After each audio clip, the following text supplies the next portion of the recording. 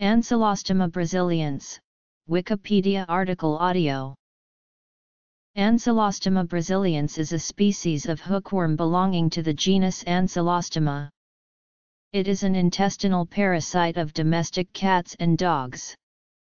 Severe infection is often fatal to these pets, especially in puppies and kittens. The infection is particularly endemic in the southern United States. It is most often confused with the hamster hookworm Ancylostoma ceylanicum because of their uncanny resemblance. A braziliense larvae can cause accidental infection in humans called cutaneous larval migration or creeping eruption, which produces severe itching in the skin. It is the most common skin infection in tropical region, particularly along the beaches of the Caribbean.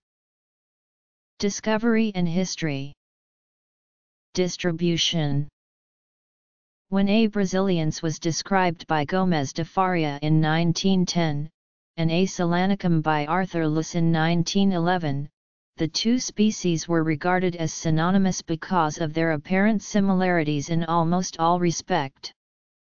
Especially in 1913, comparison of specimens from human, dog, Cat and lion infections in India led to the conclusion that they were definitely of the same species. In 1915 Gomes de Faria realized that the two were distinct species based on their anatomical structures. Till 1921 the two hookworms were accepted as a two valid species. However, in 1922 Gordon made an exhaustive comparison from specimens collected in Brazil, South Africa, and India, and his conclusion was that there were no significant distinction.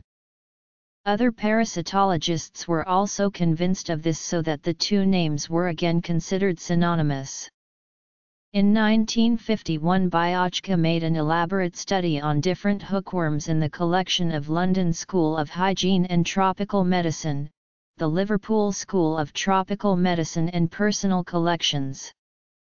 He finally identified the defining characters between the two for classifying them as distinct species, which eventually gained general acceptance.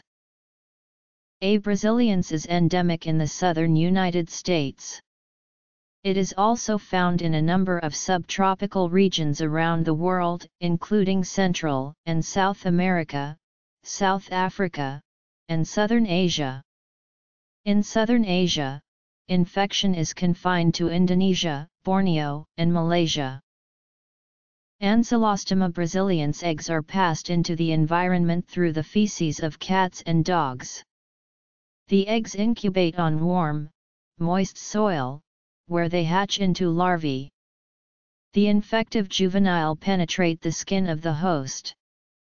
At this stage, the larvae are present in the epidermis, hair follicles, and glands of the skin, sometimes extending to sebaceous glands where they form coils.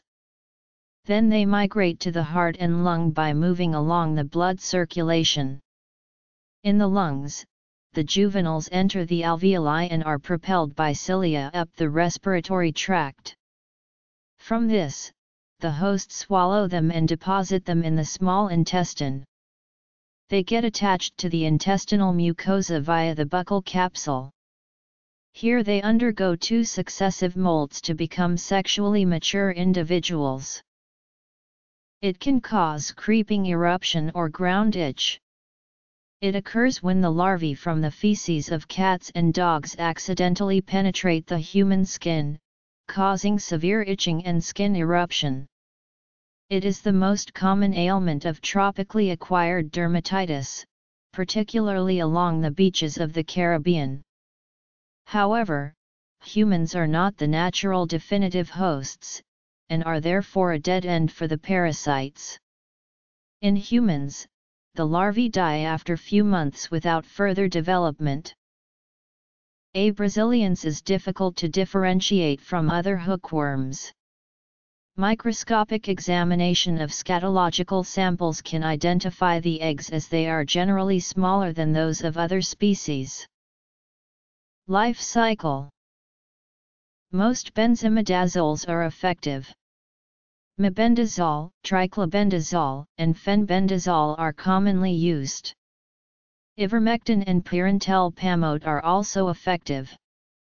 The combination of ivermectin 6 μg/kg and pyrantel pamoate at 5.0 mg/kg is 100% efficacious against adult worms in dogs.